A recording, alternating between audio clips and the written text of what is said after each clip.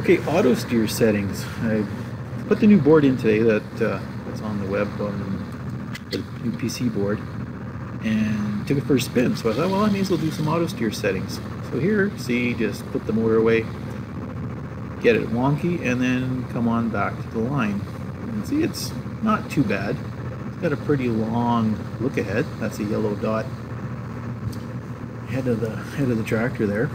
Get the new Andreas arrows. Um, just going to do a U-turn and then flip the motor away and just make it go wonky and see if it can recover. And now the motor's coming back on. You can see it, it does pretty good. Over on the left hand side you can see I've got it limited to 30 degrees so it can't turn any sharper than that. Not using any roll, not using an IMU, just a straight GPS. Uh, running it at 10 hertz. See it takes about 3, 4, 5 milliseconds per, uh, per frame. And then we're going to go through the settings. So you can see it works not too bad. It takes, takes its time coming back to the line. But uh, we're going to try and tune that up. Now we turn down our offline multiplier. That means as, as far away we are from the line, it uh, makes the look ahead longer. And if you reduce that, like we did from 2 to 1.2, you can see the look ahead is a lot closer. Now you can see it pulls in a lot faster. You don't want it to go too fast because then you'll cross the line. But uh, see how it works pretty good. Now, proportional gain is how much air it takes to spin that motor. So if we crank up the proportional gain, you can see there's not as big an effect on it. If you don't want the motor whipping back and forth, whipping, you know, the way a Trimble works, ziggle zaggle on the steering wheel. Now the counts per degree is pretty is really critical because if you're not turning the right angle that it wants so here now it's way out to lunch just by going from 32 to 46 you know it's turning way sharper than it should. You'll get that line and surprise it even recovers. I'm just narrating here. I'm just did a recording and then doing this back in the house. If we turn that back way down now now remember, it's not going to turn as far as I think it should. We go off the line. Now it's just going to take its time. It's never going to be right. You can see over on the left-hand side under steering, it's it's still going to think it's doing the right thing, but now it's just going to wiggle, woggle back and forth and never really get there. So that counts per degree is probably the most critical setting. So that when it says, give me 30 degrees, that your wheels effectively actually are turning 30 degrees. So that's a really, really important On mine's about 32. And we can see what the effect was. So either it turns way too sharp and it doesn't come back to the line, it doesn't do what the math says it should, you can see this one crosses over just a little bit and then comes back again. And you're right at zero. This is on a crooked field and there's hills and side hills and everything. Now the minimum pulse width, what that does is it provides a bias current or a basic amount of power to the motor to overcome the fact that it has to turn the steering wheel and you know the friction in the motor and that sort of thing. Now, the higher you turn that, faster it will be to react. If you exceed what it takes, here we turn it up to 69. Now that you hear it, tick, tick, tick, the motor's whipping back and forth, and the steer, steering wheel's wiggle woggle them back and forth. And so that's no good either. So it's just too high.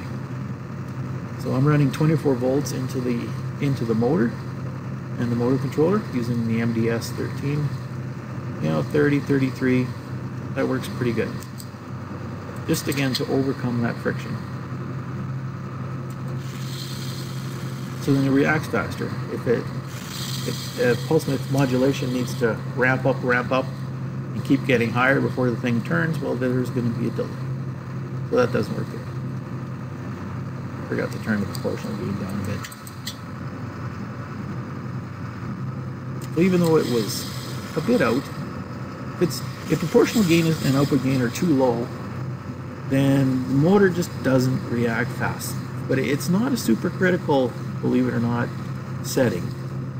You can be fairly off and you know it still works pretty good. Again, that uh, counts per degree, that's a critical one. Now here you can see that we're going around the corner and it's not quite turning sharp enough.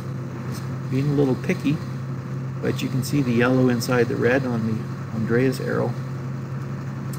That's the uh, yellow is the actual and the red is the desired and we're about 28 millimeters off or 28 centimeters off but not too bad coming around the corner good recovery on the corner and right back to zero again so flip it away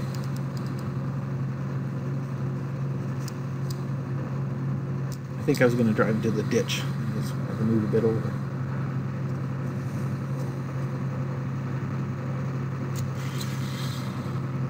There. connect the motor again to back the steering wheel. You can see it heads nicely, it recovers.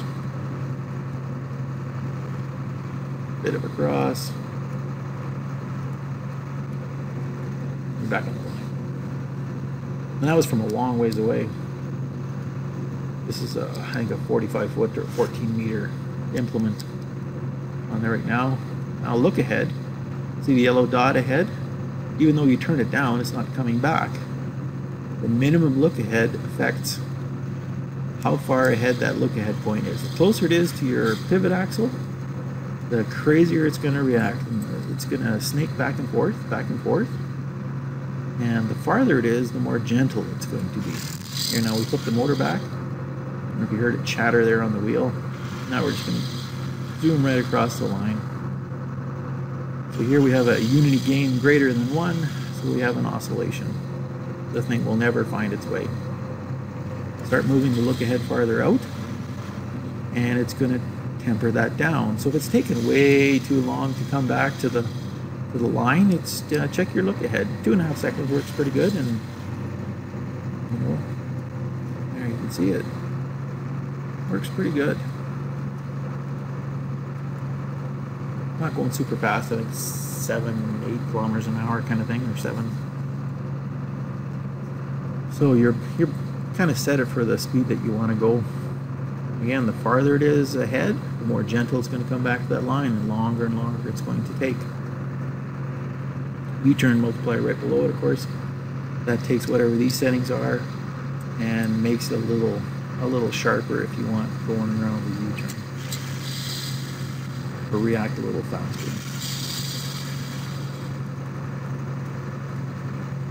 See, comes in pretty good.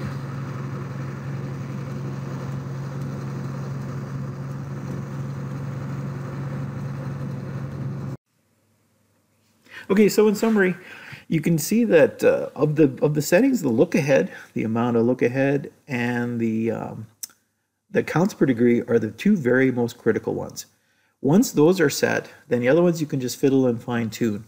But if the look ahead is too close, or if as you slow down and it's it gets closer and closer, you'll see that you'll very quickly run into an oscillation where it just can't find that line, or it takes forever to get to it because the look ahead's too far ahead. So like two and a half and two and a half, like two and a half meters minimum and two and a half seconds. Seems to work pretty good, two to two and a half, that sort of thing. And uh, the, uh, the counts per degree, that one's very critical. So if you turn your wheels, you can use a square or a, you know, a protractor to measure your wheels and kind of get close. Set them to a 30 degrees and make sure it's actually staying around 30 degrees. And that'll be, uh, those will be good starting points. And from there on, it just takes a little bit of fiddling and learning what your machine can do. So I hope that helps, and uh, good luck.